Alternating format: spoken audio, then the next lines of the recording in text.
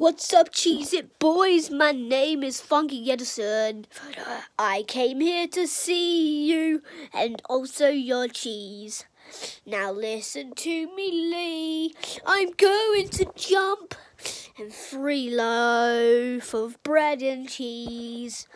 I would like some cheeses right now because you can't get a bake. And then you could choose enough, and then you can run me over tomorrow because I am 39 years old. Sell me on eBay because I am a little poo head or oh, a jailer Nike. Soak cake, soak cake because I pain the numbers because I am a loser. I can run you over. Soap, soap, soap, soap. Now I always say that I'd like a loaf of bread, bread. And then the cake runs over me because I love you so much. Say your main, your cake. I'm going to cheese and it.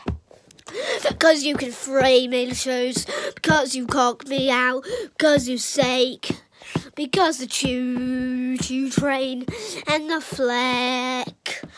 Do you know that I am? My name is Fonky Edison, that's what I am. I'm also a cheater, and then you can duck a duck because cheese it's too. So many cheese runs so sick.